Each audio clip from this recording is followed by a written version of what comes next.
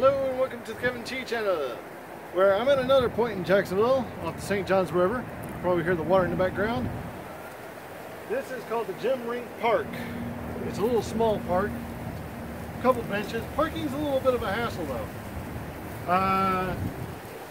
Because uh, you can't really find a parking spot. There's one handicap parking spot, so that's always a plus sign.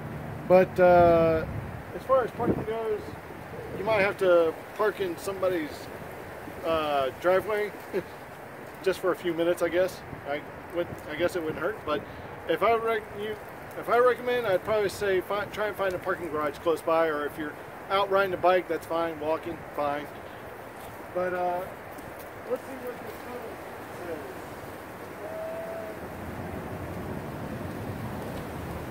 It says coming home by some guy I can't even pronounce his name is the name of the statue. It just looks like two teardrops, uh, essentially. So, all in all, it's a nice little small park.